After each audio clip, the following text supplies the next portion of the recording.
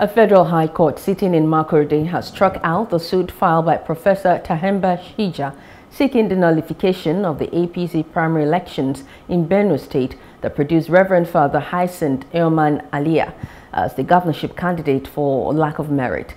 Justice Hassan Diko said Professor Terhemba Shija complained that no primaries took place in that state and as such the plaintiff lacks the local standing to complain since he didn't participate in the election he is complaining of.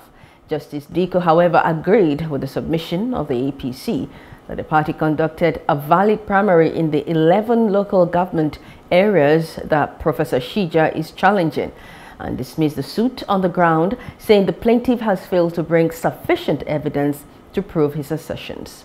First and foremost, Lord acknowledge the fact that when uh, plaintiff comes to court to complain that there was no election, the plaintiff, by his admission, has excluded himself from a person that can present a case before the court. In other words, the person has lost the local standard.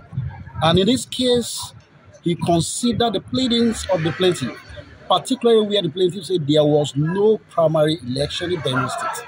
I held that having admitted to that extent is the case of the plaintiff.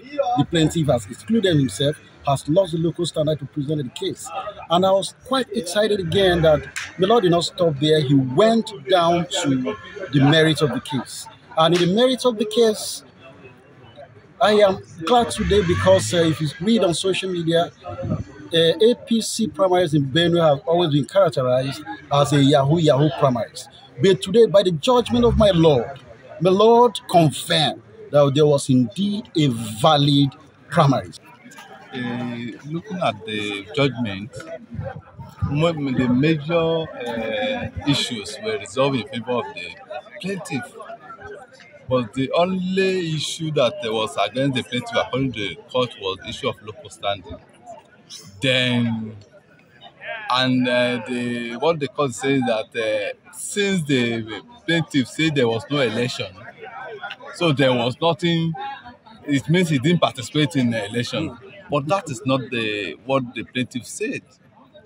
The plaintiff, what he's saying is that there was no valid primary election. There was no valid primary election. What uh, was said was a sham. Mm. There was no valid primary election. So uh, the, the the judge said the uh, the judgment will be ready tomorrow. We will wait, when we get the judgment, we look at it and advise our client Hello, hope you enjoyed the news. Please do subscribe to our YouTube channel and don't forget to hit the notification button so you get notified about fresh news updates.